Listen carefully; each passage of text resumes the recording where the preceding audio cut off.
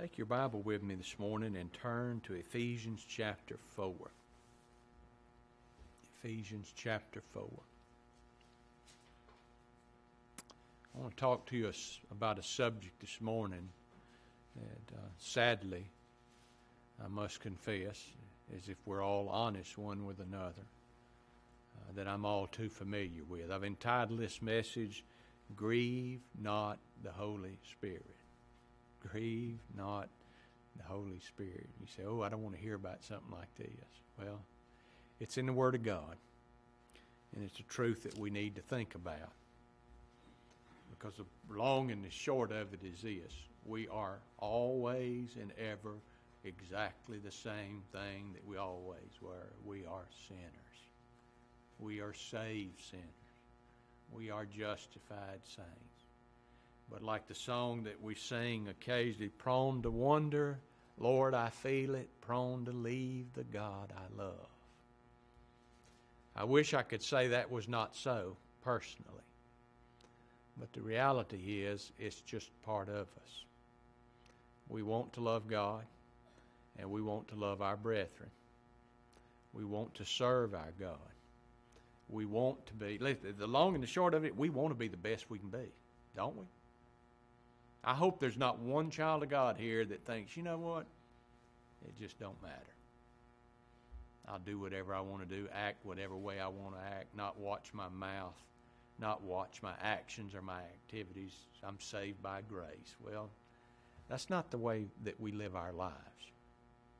But here's the thing that I, I got to thinking about as I was preparing to preach this message this week. I know a, a lot of self righteous uh, legalists they don't like to hear, nor do they ever even like to consider or entertain such actions like grieving the Spirit. I can remember when I was in false religion, when I was a false preacher preaching another gospel and another Jesus, that I never thought at any point in time that I ever grieved the Spirit. Matter of fact, we read things in the Word of God that's not there. I, I used to think in my lost estate as a religious, moral, sincere, dedicated legalist that if you grieved the Spirit, more than likely you were a lost person to begin with. You didn't know the true and living God. So they don't like to entertain those things concerning themselves or even in others that they consider Christians. They say Christians just should not grieve the Spirit. Well, it's interesting to note who Paul's writing to here in this letter that we're looking at in Ephesians chapter 4. These folks that take this attitude toward this idea of grieving the Spirit, they're like the Pharisees, and the Pharisee that our Lord Jesus Christ spoke of in that parable of the Pharisee and the publican.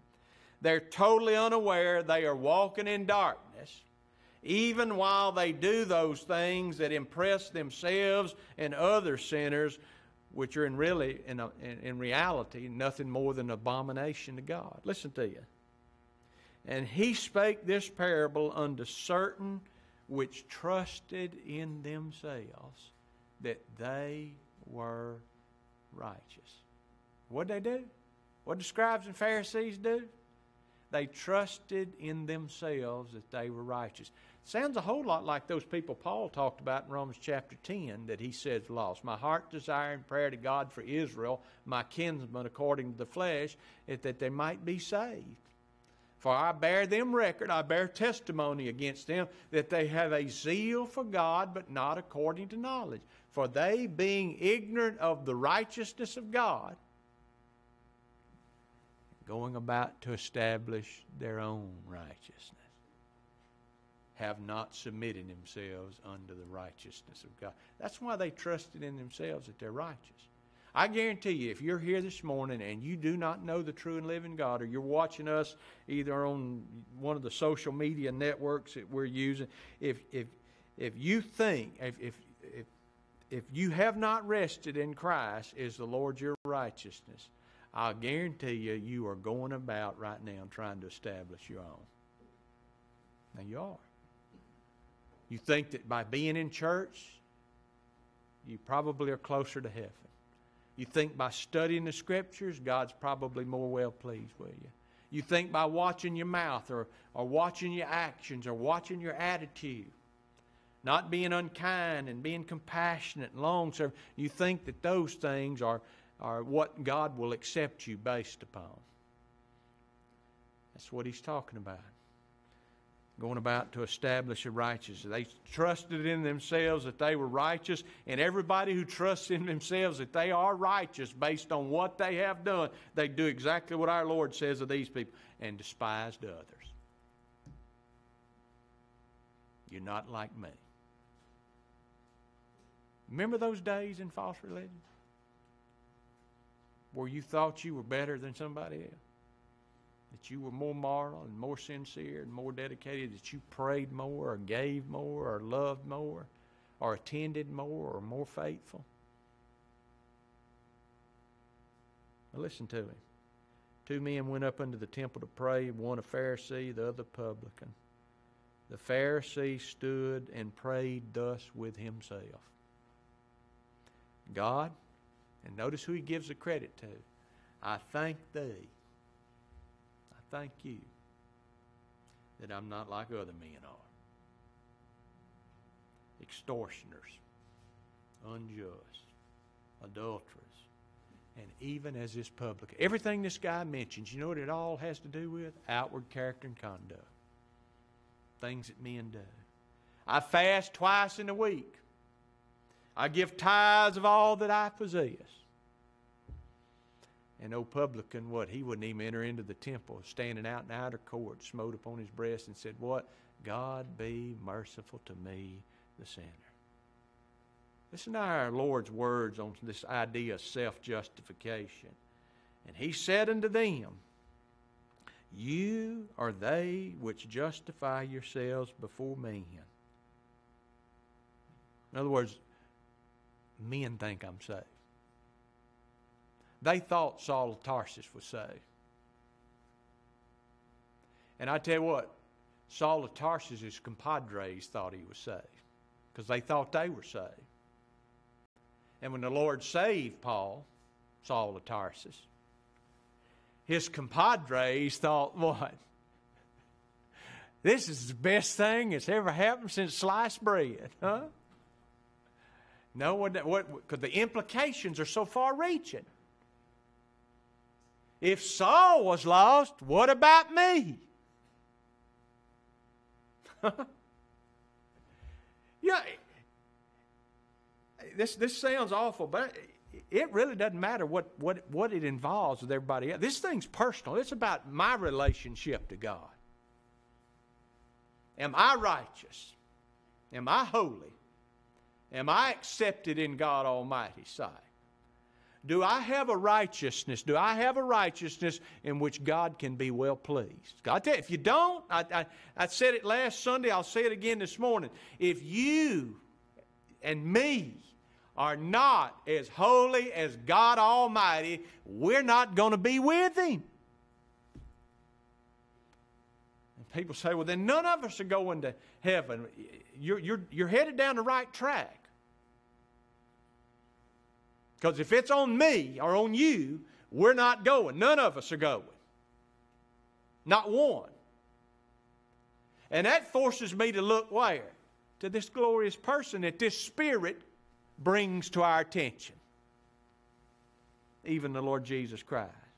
He says, You are they which justify yourselves before men, but God knows your heart for that which is highly esteemed among men. What's highly esteemed among men? Morality sincerity, religious abilities, gifts, chain, great chain. Aren't people impressed with great chain? That which is highly, listen, being a murderer is not highly esteemed among men. Even atheists appreciate and respect benevolence don't they? Because most of them are benevolent. What's highly esteemed among men is men's religion and morality and sincerity. And he said that that's highly esteemed among men is an abomination in the sight of God. How do you think that went over with the scribes and Pharisees?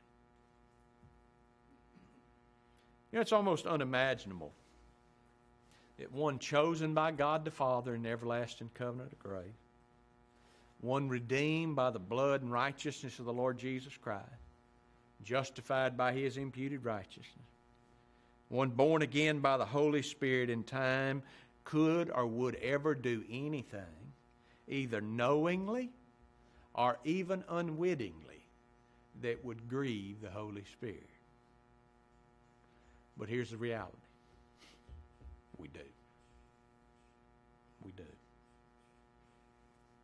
Doesn't make it right, and that's not justifying when we do. In our text, the Apostle Paul encourages, notice what he says here in verse 29 and 30. He says, Let no corrupt, Ephesians chapter 4, verse 29, 30, let no corrupt communication proceed out of your mouth, but that which is edifying to the use, or that which is good to the edifying, good to the use of edifying, that it may minister grace unto the hearers. And then he throws this in here and grieve not the Holy Spirit of God, whereby you are sealed until the day of redemption. I'm going to give you three things this morning, real quick, that this idea of grieving the Holy Spirit, verse 30, what we can learn from it. The first thing is this. Matter of fact, the most important thing that, that I take away from verse 30 is this. Even though we, as justified saints, do often grieve the Holy Spirit of God, and we do if we're honest. The sin of grieving the Holy Spirit, now listen to this the sin committed by the believer of grieving the Spirit of God, the Holy Spirit of God, it does not cause us to lose our abiding position in the family of God and the kingdom of God. In other words, what I'm saying is this you cannot lose your salvation by grieving the Holy Spirit. Whew. Somebody, somebody see that, hear that statement and say, You blasphemed the Holy Spirit. No, I hadn't. No, I hadn't. Notice the way the Apostle Paul writes is that the Holy Spirit moves him. And he moves him to write this Grieve not the Holy Spirit of God, whereby you are sealed. You see this? You are sealed. How long? until you grieve the Spirit. No, that isn't what he said. You're sealed when? Until the day of redemption. What's the day of redemption? Go back over and read Romans chapter 8. The day of redemption, you know what the day of redemption is? This the deliverance of our body. That's the day of redemption. Now, we're redeemed in Christ Jesus, but there's a day coming. What's, what else is going to be redeemed? Even our old bodies. It'll be changed. It's going to be made like unto His glorious body. But He says we're sealed till when? till forever, till we arrive in glory with our blessed Lord. You always keep this in mind. These believers that he encouraged not to grieve the Holy Spirit, what were they? Saints. How do I know that? Listen to this. Paul, an apostle of Jesus Christ by the will of God, to the saints which are at Ephesus and to the faith. Not only are they saints, you know what else he called them? And to the faithful in Christ Jesus. Grace be to you and peace from God our Father and from our Lord Jesus Christ. Yeah, it's absolutely amazing when you think about it how graciously God deals with us as His dear children. The Holy Spirit moved the Apostle Paul to, to encourage and to comfort and point out to these people in Ephesus and to every believer that would read the book of Ephesians throughout time, point out to us the absolute certainty and security of our salvation by the work of the triune God in the first three chapters of Ephesians. Go read it. God the Father had a part in choosing us. Christ the Son had a part in redeeming us. God the Holy Spirit has a part in regenerating, converting, and keeping us. He will present you holy, unblameable, and unreprovable in your sight. Whose role is that? God the Holy Spirit. The Spirit that our Lord said it's expedient that I go away, because if I don't go, who can't come? But if I go away, the Comforter will come. And see, it's through these doctrinal truths that he set forth in these first three chapters of this uh, glorious book of Ephesians concerning the work of all three persons of the Godhead in the salvation of sinners, particularly zeroing in on that doctrine of redemption through the person and work of the God, God the Holy Spirit, by which the Holy Spirit seals every child of God. In, previous messages, I, have always been careful, and we read there in John chapter 16. I'd encourage you to actually go back and read John chapter 14, 15, 16, because they all deal with the work of the Holy Spirit. But I've always been careful to point out to you that the Holy Spirit's work, what is it? It's to reveal to the mind and understanding of God's elect what? Himself? His effect on your life?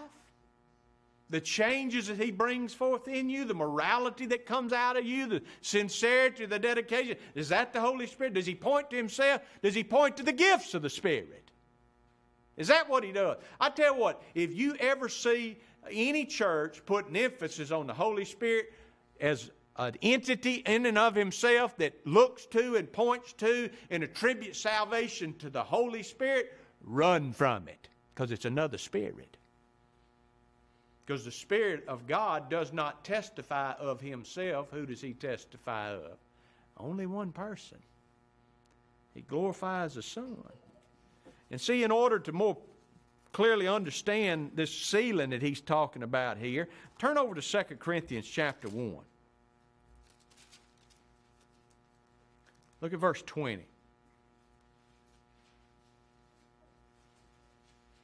For all the promises of God in him are yea. First, Second Corinthians chapter 1, verse 20. All the promises of God in him are yea, and in him amen unto the glory of God by us. Now we, he which establisheth us with you is Christ, and hath anointed us is God, who hath also sealed us. You see that? He's not sealing us, he sealed us and given the earnest, and that word earnest is the down payment, the earnest of the Spirit in our hearts. Now, verse 22 gives us some insight into the meaning of this word seal that's used by the Apostle Paul in our text back over in Ephesians. Uh, the original Greek word is translated either sealed or sealing or seal in the English. It's got a variety of different meanings. Listen to this it means to denote property in things, like a brand. It means to distinguish one thing from another. It means to show esteem and affection for person or things. It means something that ensures security and protection, and it means this as well to hide and conceal. And all these different meanings, every one of them that I just read to you, can and are applicable in respect to the work of the sealing of the Holy Spirit in each and every one of God's elect, in each and every successive generation by expressing the grace of God to His people and claiming them as His property, distinguishing them from the rest of the world, setting His affections on them, securing them, and protecting them, and hiding them under the shadow of His wings. But sometimes the word seal, you know what it means? It means to certify, or it means to assure the truth of something. Listen to this. He that hath received his testimony hath set to his seal that God is true. Paul put it like this concerning himself If I be not an apostle unto others, yea, doubtless I am an apostle unto you. For the seal of my apostleship are who? You in the Lord. The way the word sealed used here, it speaks of the assurance God gives to His people of their interest in His love. The fact that we are included in His covenant of grace. He assures us of our election by God the Father and our redemption by Christ the Son. He assures us of our interest in Christ and our union with Him, of our justification by and through Him, and our certain adoption through Him. And listen to me the only person who can accomplish this is the Spirit of God. He's the only one who can certify or assure the mind and understanding of the child of God of who and what they are and what they actually possess by virtue of their oneness with the Lord Jesus Christ. The Spirit, listen, this is Paul, the Spirit itself bears witness with our spirit that we are. Huh? Preacher, you don't know what I am. Huh? Yeah, I know what you are. Same thing I am. You're a sinner, but what are you if you are in Christ? We are sons of God. Here's the second thing I learned from verse our verse, our text. Turn back over to verse 30. I learned who the person, believers, justified saints, are admonished and encouraged not to grieve. Grieve not who? The Spirit of God. Now listen. Paul wasn't threatening them with eternal condemnation if they grieved him, and he wasn't, he wasn't threatening us either. To me, this admonition that Paul gave to these Ephesian believers is kind of like the same admonition that John gave to the believers that he wrote to in 1 John. Remember what he said? My little children, these things write unto you that you do what? Don't sin. Right? That's an admonition. Don't sin. And if any man sin, literally, but when you do sin, we have an advocate with the Father, Jesus Christ the righteous. And He, Jesus Christ the righteous, is the propitiation. What's propitiation? Perfect satisfaction of law and justice. He's propitiation for our sins, the Jews that have believed and rested in Christ. And not for ours only, but also for the sins of the whole world. Not all men and women without exception, but who? All God's elect from every nation and kindred and tongue and people.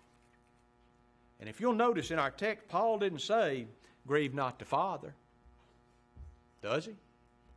He doesn't say, Grieve not the Son. Though you and I, as God's children, we should not want to either grieve the Father or grieve the Son. He tells us specifically who are we not to grieve? The third person of the Godhead. Who? God the Holy Spirit. I've been thinking about this since I wrote it down. I, I hope I can say this word right. When he makes this statement, grieve not the Holy Spirit, Paul speaks here in what's called an anthropathy. Well, that's a big old word. Actually, went to Merriam Dictionary and looked up the meaning of it. You know what an anthropathy is? It's uh, to ascribe human passions and feelings to who? To a deity. God doesn't get angry. God doesn't get sad. God doesn't get glad. Those are emotions that human beings experience. That's how we can relate to this thing. And so he puts it in a relatable way to you and me. So we can gain some understanding of what he's talking about here. But why does Paul encourage you and me not to grieve the Holy Spirit? Because the Holy Spirit, who is he? Like God the Father and God the Son, he's God. But as God, who is he? He's the author of the new birth. He's our comforter. He's our advocate. He's our helper. And he's our strengthener. You think about it this way the Holy Spirit, He's our constant companion who dwells in us, and He'll remain in us until our death.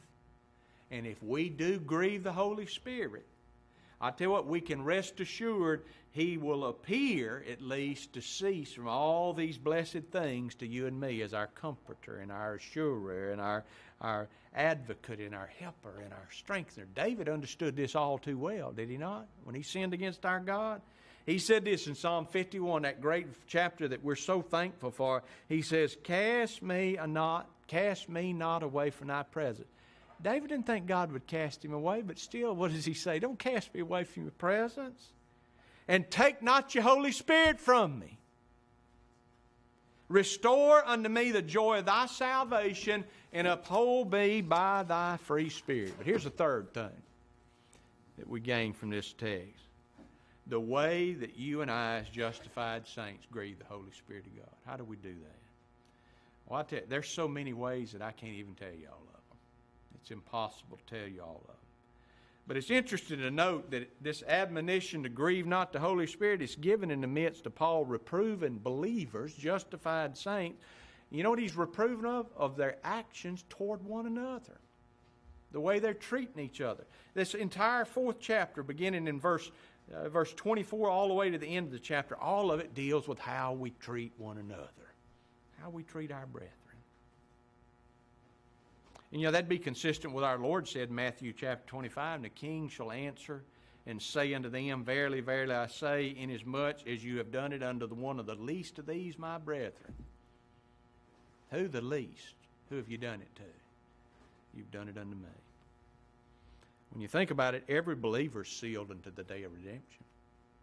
And every believer, every justified saint, they all possess the same Holy Spirit. So if we dishonor our brethren, who are equally loved and equally saved, those regenerated, and converted, and indwelt by the same Spirit, we grieve the Spirit.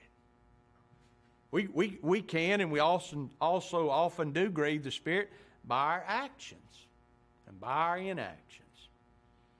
We grieve him by our behavior towards our God. Look at verse 14 of this chapter.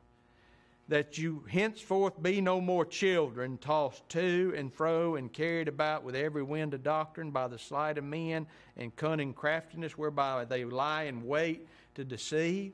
But speaking the truth in love may grow up unto him in all things, which is the head, even Christ, from whom the whole body fitly joined together and compacted by that which every joint supplieth according to the effectual working of the measure of every part maketh increase of the body unto the edifying of itself in love we grieve the holy spirit by our conversation our behavior in the world you can see that in verses 17 down through verse 29 where he tells justified saints stop stealing Stop lying. Quit being angry one another. Believers, justified saying. We grieve him in our vain and sinful thoughts, seeing God has promised that he will keep you and me, that man or woman, in perfect peace whose mind is what? Stayed on him. Stayed on him by the use of the means that God's given us. We grieve the Spirit by unbelief in our heart. Paul wrote to the Galatian believers, Are you so foolish, having begun in the Spirit? Are you now made perfect by the flesh?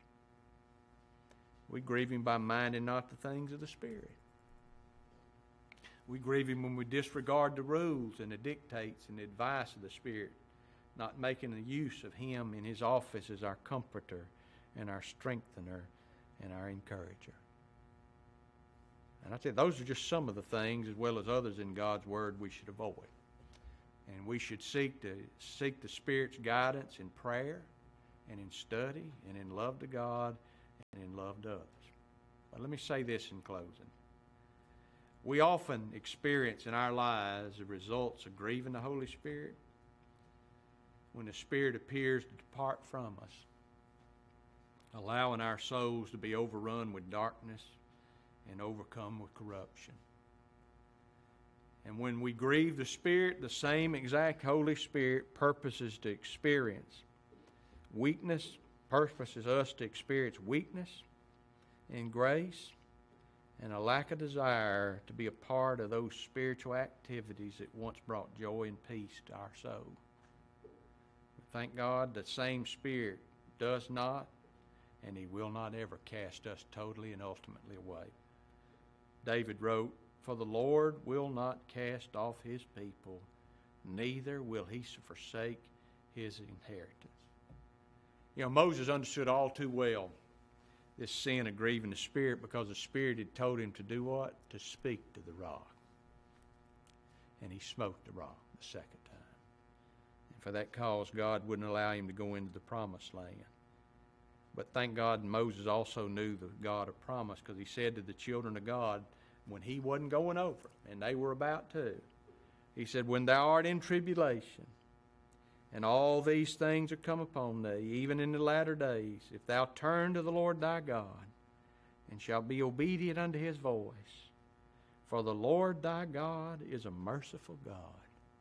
He will not forsake thee, neither destroy thee, nor forget the covenant of thy fathers which he sware unto them.